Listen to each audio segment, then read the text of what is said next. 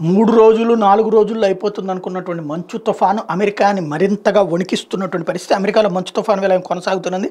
ఈ శతాబ్దంలోనే ఎన్నడూ ఎరగనంతటి చలిగాలు తుఫాన్లు మంచు దాటికి మంగళవారం కూడా దేశమంతా అతలాకుతలమైంది. నాలుగు వేల పైచీలకు దేశీయ అంతర్జాతీయ విమాన సర్వీసులు రద్దయినాయి. అత్యంత ప్రతికూల వాతావరణ పరిస్థితుల మధ్యలో దేశవ్యాప్తంగా మరణించిన వాళ్ళ సంఖ్య అరవై దాటింది. ఒక్క న్యూయార్క్ రాష్ట్రంలో కనీసం ముప్పై మంది దాకా చనిపోయారు. ఇక్కడ బఫెలో కౌంటీలో పరిస్థితి దారుణంగా ఉంది. ఇటు చూసిన కనీసం యాభై అంగుళాల మేర మంచు పరుచుకుపోయింది. పద్దెనిమిది వందల ఎనభైల తర్వాత ఈ ప్రాంతం ఈ స్థాయిలో హిమపాతాన్ని చూడడం ఇదే తొలిసారి. నిత్యావసరాల కొరత పలు చోట్ల లూటీలకు కూడా దారితీస్తోంది.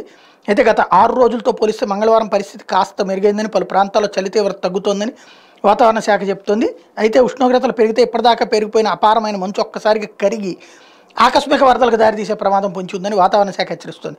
ముఖ్యంగా బఫేలో వంటి ప్రాంతాలకు ఈ ముప్పు చాలా ఎక్కువని పేర్కొంది. దాంతో వరద పరిస్థితులను ఎదుర్కొనేందుకు యంత్రాంగాన్ని ఇప్పటి నుంచే సిద్ధం చేస్తోంది.